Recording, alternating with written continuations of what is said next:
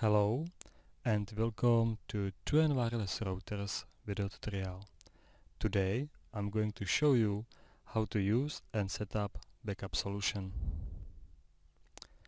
Backup feature is supported on these devices 2N EasyRoute and 2N SpeedRoute. On this slide you can see all design versions of the devices which are available.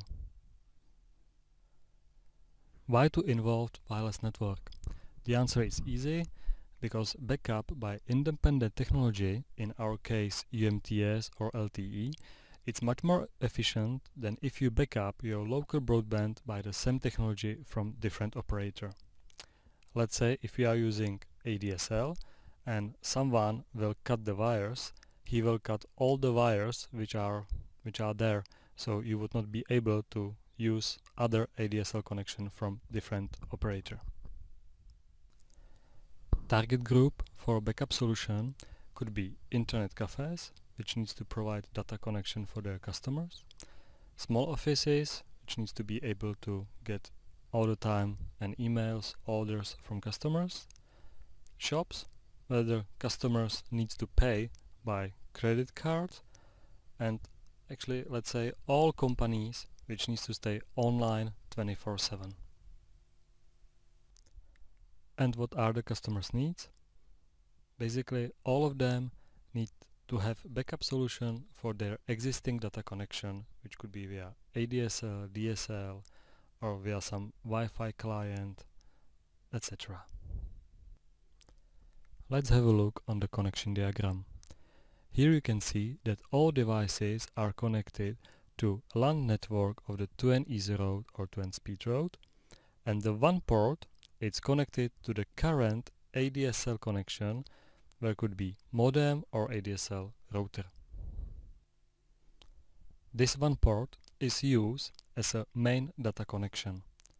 In case there is some failure and the internet cannot be reached through the WAN port, 2N road or SpeedRoute will automatically recognize that and will switch to the backup solution, in our case to the LTE or UMTS network.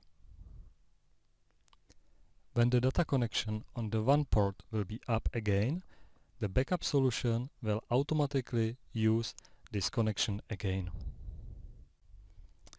So this was short introduction how the backup solution is working. And now I'm going to show you how to set up the backup connection. Open your web browser and type in the default IP address, which is 192.168.1.1. You will see the login screen. Username it's admin with capital A and password it's to N and login.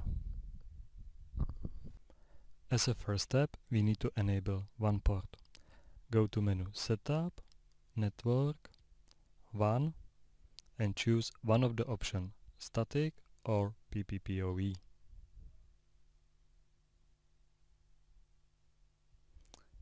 In my case I use static. Define the IP address which is free and could be assigned to the WAN port. Define the subnet, define the gateway which will be the IP address of the router in front of me and also define the DNS server.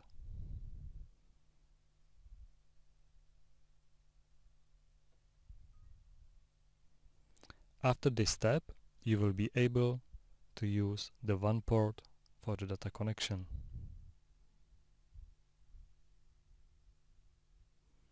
and save it. As a next step, go to menu routing. Here we will define the main routing, which will be for us the WAN port which we have just enabled and set it up. And the backup routing will be the wireless network, the LTE module. We can check the fast backup, which means that the wireless data connection will be already established and will be ready to take care about the data connection define the ICMP Echo server. We can set it up two servers to these servers we will send the pings to check the connection on the WAN port if is it available or not. Set up the interval, it means how often we will send the pings via the WAN port.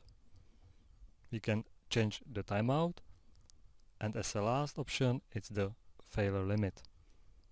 After this limit of the failure connections we will switch to the backup connection and save it. Data connection via WAN port is established and it's working fine. You can see that there is already 126 pings being sent. You can check the status. You can see that the route is via WAN port. When we will go back to the routing menu, we will see that another good pings has been counted. Now I'm going to disconnect the WAN port connection to establish the failure on the WAN connection. So now you can see that the errors are already counted and when the limit of 10 wrong pings will be reached, the backup connection will be established.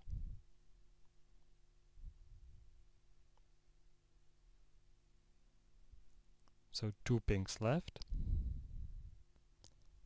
And now the backup status became on. It means the connection was switched from the main routing to the backup routing. Let's have a look in the status. And here we can see that the route it's not the WAN port, but the wireless network.